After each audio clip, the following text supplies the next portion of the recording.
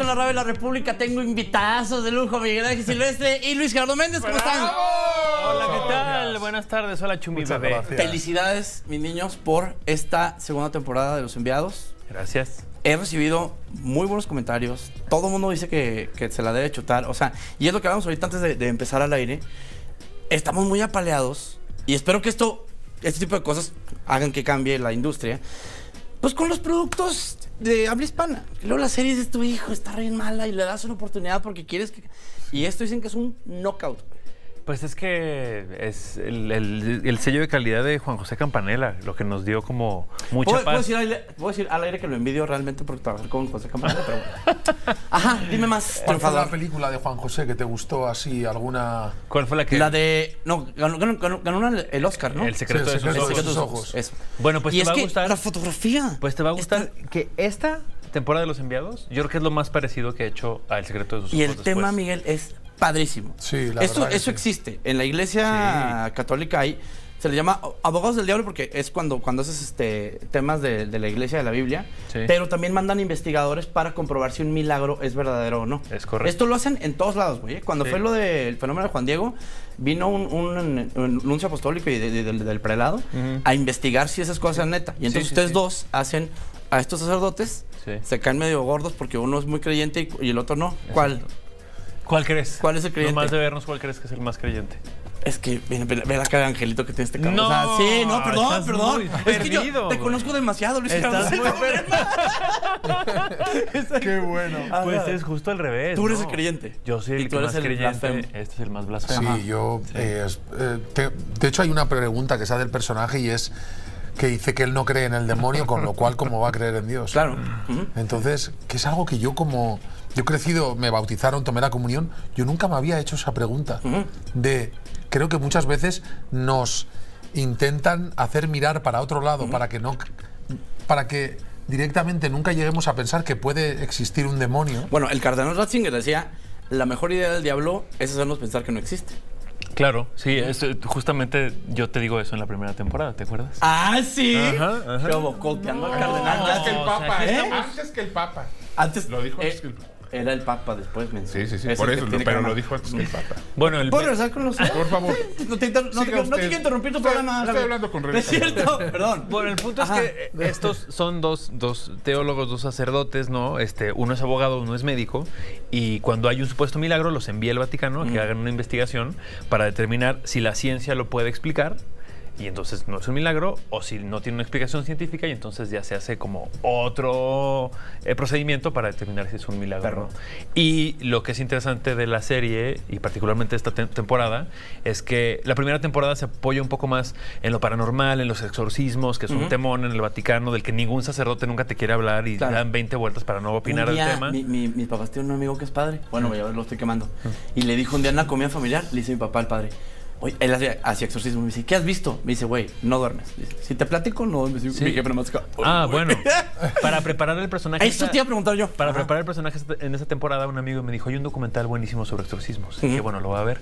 Lo No, empecé a ver en mi no, no, no, computadora no, en la güey, noche no. y el documental empieza con un sacerdote diciendo, entre más conozcas de este tema, más probable es que esto te suceda a ti. Se relata Claro, güey, y fue sí, así de sí, que, sí. Viva, que viva la ficción. Exacto, puedo- yo soy actor de ¿sabes? tengo una imaginación ¿Qué ilimitada. tal? A ver, el, el método, ¿qué tan importante es? No, no? no, Oye, no. esa era mi siguiente pregunta. Yo conozco tu eh, clavadez Mm. a la hora de los proyectos y, y en el caso de los dos, ¿qué tanto se instruyeron? ¿Qué tanto investigando este? O sea, este, fueron castos un par de meses para... eh, ya. No tanto. El celi ¿Cómo andamos del celibato? muchachos? No, no, me refiero a que, o sea, ¿qué tanto se clavaron en el tema de la iglesia católica para poder interpretar esto? O también puede ser que sea de, güey, prendido y apagado y... Pues hablamos con varios sacerdotes, pero sí es muy interesante ver cómo to- todos los sacerdotes con los que hablamos le daban la vuelta al tema. O sea, son hombres de la institución y al hablar de, de exorcismos y de milagros y de corrupción, porque la serie habla mucho de la corrupción que hay Sí, también en el sí, Vaticano, sí, sí, ¿no? sí. Para proteger estos supuestos milagros, porque, porque si hay un mundo ahí atrás este, de, Sí, correcto. de mucha riqueza, ¿no? Entonces es difícil como sacarles información. Entonces al final del día sí tienes que ficcionar mucho porque nadie te va a decir, ah, es así. ¿sabes? este, Pero por otro lado, pues yo crecí en, en puros colegios de monjas Claro. maristas, entonces conocía muy bien a, a este universo, ¿no? Toda mi familia son médicos, entonces siempre crecí en esta dualidad entre la ciencia y la fe, que es un poco lo que plantea la, la serie, ¿no? Eh, como esta dualidad y, y particularmente también como el tema de la fe y el fanatismo, ¿no? Que creo que es lo que quiere Mm. tocar Campanella en esta temporada, ¿no? Porque la fe está, está chido, ¿no? O sea, está, es bueno tener fe, o sea, los seres humanos necesitamos tener fe en algo. El fanatismo es lo que jode todo, ¿no? Sí, claro. Y de eso va un poco la segunda temporada. Yo creo que cuando un director empieza a, a abordar los temas como del clero, así, o sea, trae una madurez ahí distinta, porque la chida de este Sorrentino fue la de, ¿viste? De New Pope. Eh, sí, sí, sí, es y siento Wow, qué es espectacular. Sí. Qué pero, buena es. Pero es, es cuando un director ya está ahí dos, tres rounds en la cancha y ya se avienta estos temas. Sí. ¿Creen ustedes que este sea la, la versión de Campanella de algo así? O sea, de hacer un poquito, algo, algo más, más mordisqueable, más dificilón. Pues es que yo creo que Campanella viene tirando esos derechazos desde Mm. hace muchos años, ¿no? Mm. Como que es un tipo muy inteligente y, y- y con una cultura brutal. A mí no hay nadie de mis conocidos, de mis amigos con los que me dé más nervio ponerme a platicar en una mesa que con Juan José, porque domina todos los temas y ¡Qué perro! sí trae un sí le gira la piedra. Sí, era muy agradable ir a comer con él. Sí, qué Y chido. preguntarle y que nos diera su punto de vista. La verdad que sí. Y cuando trabajas con gente que se acaba la universidad, es hermoso, ¿no? Sí, no pasa mucho. sí, Oigan, menos en mi ámbito en la política. Muchachones, siempre que se hacen este tipo de temas en, en cine o televisión, se, se cuentan leyendas que pasan durante la grabación, durante... ¿Tuvieron alguna experiencia ahí? La, ver- la verdad que sí. La verdad que sí, tuvimos un par. Eh, un día estábamos filmando la primera temporada, la primera vez que mi personaje tiene como una aparición como del diablo representado en una actriz, bla, bla, bla. Y estábamos filmando eso en el bosque, en Mineral del Chico. Eh, eran como las dos y media de la mañana. Estábamos por filmar eso y cayó un rayo como a 100 metros de donde estábamos. man, no, no, Te no, güey. te lo juro, Y después de eso me desperté todos los días durante un año a las 3 de la mañana. Eso es mentira. Ah, ok. Ah, Pero lo primero sí Qué es- buen actor eres. Exacto. No, y el tema es que a mí me pasa eso. O sea, cuando me cuentan cosas, yo sí digo, a mí no se me parezca nadie, ¿eh? O sea, yo sí me da miedo. Ya es que dice que en el Teatro Milán se apareció una niña, no sé qué. Yo le dije, Sí, sí, sí, le dije, sí. chiquilla, a mí no, mí corazón. no o sea, tú déjale para allá. ¿Y a ti, Miguel Ángel, ta- también te- no te pasó nada? A mí no me pasó nada.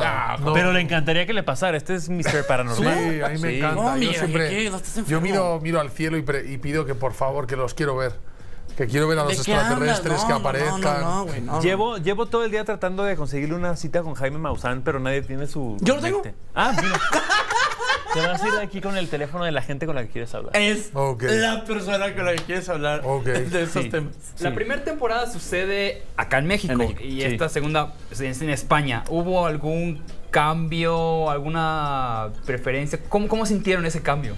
Pues no, es como el jugar de local o visitante, ¿no? Este, No sé quién será mejor anfitrión, pero lo que sí es que creo que en Galicia sí se come mejor que en Luis Hidalgo. Gerardo, Luis Gerardo. ¿Sabes? Ah, bien- bien que dijiste Hidalgo. Hidalgo. No, Ajá. no, no, en México se come cabrón. Ajá, sí, pero sí. la primera temporada fue en Hidalgo, en Mineral del Chico. Y Galicia Que hay cosas muy ricas, pero Galicia es una No, locura. es otro loco. O sea, ve, ve, ve mis cachetes en el póster. O sea, ahí hay 5 Los kilos. cachetes. Hay 5 Dios kilos ahí de arroz caldoso. sí. Y, y el tema, por ejemplo, con el cómo manejan, porque tú haces un montón de proyectos tú también. ¿Cuánto tiempo le toma esto filmarse? Porque se- según yo ya las series hacen... Sí, en Pues- concreto esta fue muy rápida, ¿no? Cuatro- cuatro- Tardamos cuatro meses. Cuatro meses. Cuatro meses es nada. Yo, no sé, las últimas series que he hecho son siete, ocho meses. Sí. Mínimo. Y Bueno, esta era 30 muy monedas, porque 30 30 monedas es ocho una locura. meses. Sky Rojo también. Sí. Pero Y- es verdad que esta fueron cuatro semanas muy intensas. Cuatro meses. Cuatro, eso, cuatro meses muy intensos y, y ahí estaba la historia ya. Oye, Miguel Ángel, eh, Luis Rado. Yo siempre le hago esta pregunta a mis amigos que son muy destacados en el tema de la actuación y eso. ¿Cómo escogen los roles? Porque ya te llegas de todo. Mm. O sea, a ambos. O sea, ya sabes que si está uno de estos dos güeyes, o sea, va, va a vender boletos. ¿Sabes cómo? Entonces te caer un montón de proyectos y algunos más padres y otros, ¿cómo- ¿en qué se basan? ¿En el, en el presupuesto, en el, en el hunch, en el director, en los... Pues es que todos son distintos. O sea, aquí fue el momento que a mí mi agente me habló y me dijo, Campanella te quiere para una serie. Fue de sí. Jalo. Ni siquiera tengo que leer los Sí, ponme capítulos. Árbol 3, me Voy, vale, ya sí, está. sí, sí, sí. Eh, pero hay otros que tienen que ver más con, pues como inquietudes que traes de pronto, ¿no? De me interesa trabajar con este director, o ya estoy harto de hacer dramones, quiero hacer una comedia, eh, ahora extraño hacer teatro musical, o ahora quiero hacer un proyecto en otro país, o sea, de- en fin, no, De- de- creo que Qué depende. Sí, sí. Sí, creo que depende mucho. En mi caso, es ahora es mucho la colaboración con los directores y con el cast. O sea, como que eh, quiero trabajar con actores que admire mucho. O sea, estar en el set con Claro, gente claro. donde yo me sienta el más idiota. ¿Sabes? Eso es lo que trato de buscar como todo el tiempo, ¿no? Y, y- Yo soy bastante idiota y te puedo entender. Perfecto. ¿No es cierto? ¿No, Miguel? Pues en, en realidad lo mismo que él. Eh, yo cuando me llegó este proyecto, Campanella eh, le había visto también, antes te he preguntado porque el, secre- el hijo de la novia es una película que a mí me... También estuvo nominada a los Oscars de Juan José Campanella. A mí marcó mi infancia, mi abuela murió de Alzheimer, mi padre nos ponía esa película para entender un poco el proceso del Alzheimer. Y cuando me llamó Campanera era como, "Uf, me da igual los guiones, me- eh, quiero conocerte, quiero trabajar contigo. En los primeros, en los, en los ensayos que teníamos, eh, Campanella quería hablar de la serie y Miguel Ángel solo le preguntaba, ¿y cuando hicieron esa Todo escena?" fan. Sí, sí. Todo fan. Ya se nos acabó el tiempo, chiquillos. No se pierdan en Paramount Plus. En Paramount ¿Ya Plus, está? Los enviados Los se estrenan mañana y la primera temporada está gratis en YouTube, en el canal de Paramount Plus, Ah, para bien. que se enganchen los que no la han visto por tiempo limitado. Nosotros volvemos